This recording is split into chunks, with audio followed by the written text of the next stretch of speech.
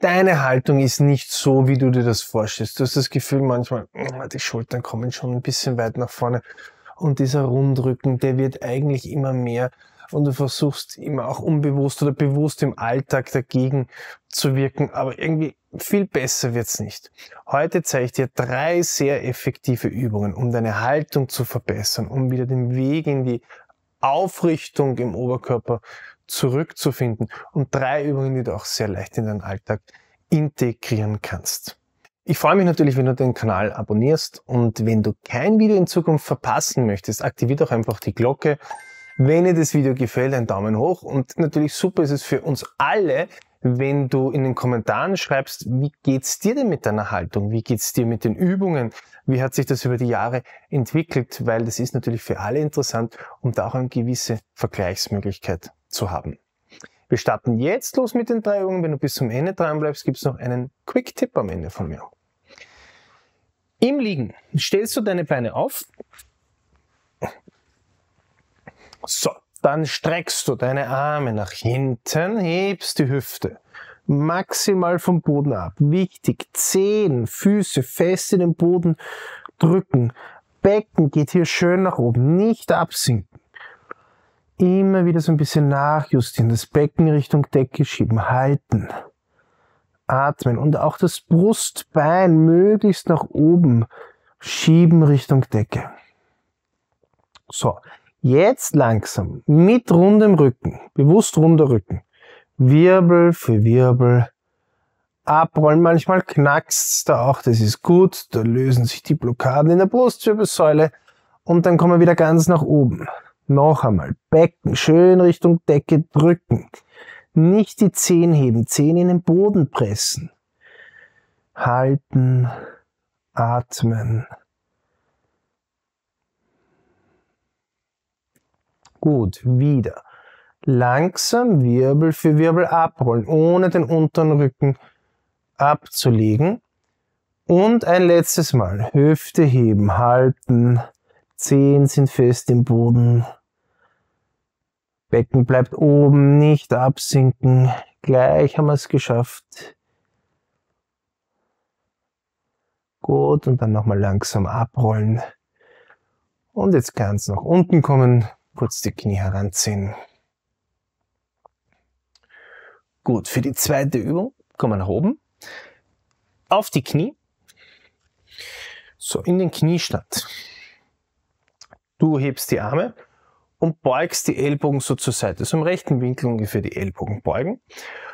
Und jetzt gehen wir hier in eine leichte Rückbeuge. Achtung, nicht aus dem unteren Rücken. Ich weiß, dort haben wir mehr Mobilität, vor allem wenn wir hier oben eingeschränkt sind. Aber wir wollen ja genau hier oben in der Brustwirbelsäule mehr Mobilität haben. Deswegen kannst du manchmal auch als Hilfe den Finger auf dein Brustbein legen und hier nach vorne drücken, dass du spürst, dort in diese Richtung wollen wir uns bewegen. Hier in dieser Region. Also einatmen und dann ausatmen, auf die Fersen setzen, Hände und Kopf zum Boden bringen. Wieder aufrichten, Arme beugen. Achtung, oberen Rücken mobilisieren, nach vorne schieben. Ablegen. Nach oben kommen, wiederholen. So acht bis zehn Wiederholungen. Und achte, dass du die Rückbeuge nicht aus dem unteren Rücken machst, nur aus dem oberen Rücken. Ablegen. Atem nicht vergessen, tief einatmen, langsam ausatmen.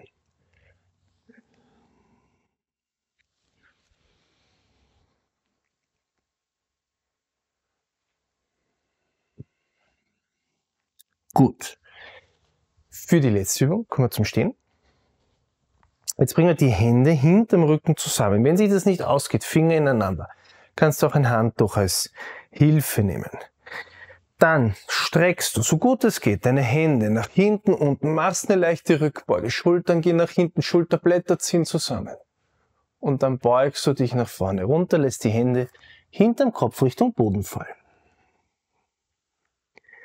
Kommst wieder nach oben, Rückbeuge, einatmen, ausatmen, nach vorne runterkommen. Einatmen nach oben, leichte Rückbeuge.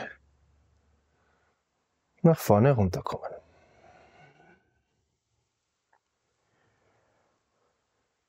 Das wiederholst du. Acht bis zwölf Mal.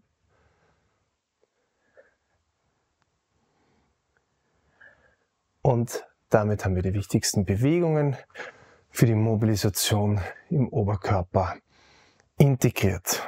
Also drei Übungen, wenige Minuten für mehr Beweglichkeit. Kleiner Tipp für mich, du kannst es immer wieder auch in Pausen während der Arbeit dazwischen mal einbauen. Du kannst es auch am Sessel sitzend machen, dass du einfach eine Lehne hast, die einfach so nach hinten fallen lässt. Diese Bewegung brauchen wir. Und zweiter wichtiger Tipp, die Rückbeuge nicht aus dem unteren Rücken machen, sondern aus dem oberen Rücken machen. Das war die Übungssequenz für mehr Mobilität, für eine bessere Haltung in deinem Oberkörper. 95% aller Menschen haben hier in diesem Bereich im Rücken schon mal Beschwerden gehabt. Fast 90% im Schulter- und Nackenbereich. Meistens sind es funktionelle Beschwerden, also Verspannungen, muskuläre, fasziale Ursachen. Da helfen uns Übungen sehr gut und in diesem neuen Buch stelle ich dir die besten und effektivsten Übungen inklusive Tests, inklusive Erklärungen, inklusive Programme vor. Rücken, Schultern, Nacken.